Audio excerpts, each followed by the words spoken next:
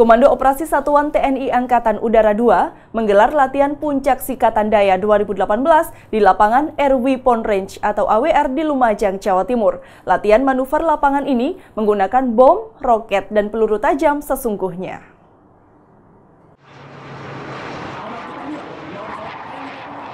Ratusan prajurit Komando Operasi Angkatan Udara 2 mempraktekkan berbagai skenario menyerang dan mempertahankan dalam latihan Puncak Sikatan Daya 2018 di lapangan tempur Desa Pandanwangi, Kabupaten Lumajang.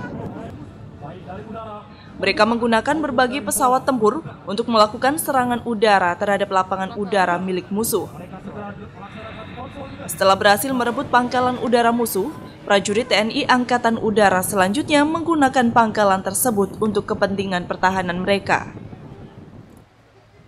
Latihan ini melibatkan ratusan prajurit dari Denmatra 2 dan Batalion 464 Wing 2 Paskas Pangkalan Lanut Abdul Rahman Saleh Malang.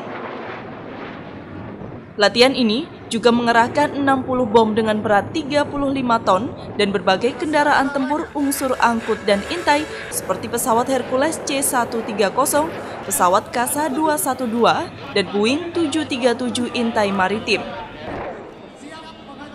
Latihan kali ini melibatkan yang di lapangan, uh, personil yang di lapangan tadi yang terbang kemudian dan sebagainya sekitar 750 orang, kemudian yang berada di pangkalan-pangkalan sekitar 500 orang, 500 orang, kurang lebih 1.300 uh, orang yang terlibat uh, dengan pendukung semuanya. Latihan manuver udara ini rutin digelar untuk mengevaluasi dan mengkoordinasi disiplin antar satuan dalam melaksanakan tugas operasi. Abdul Rahman, Kompas TV, Lumajang, Jawa Timur.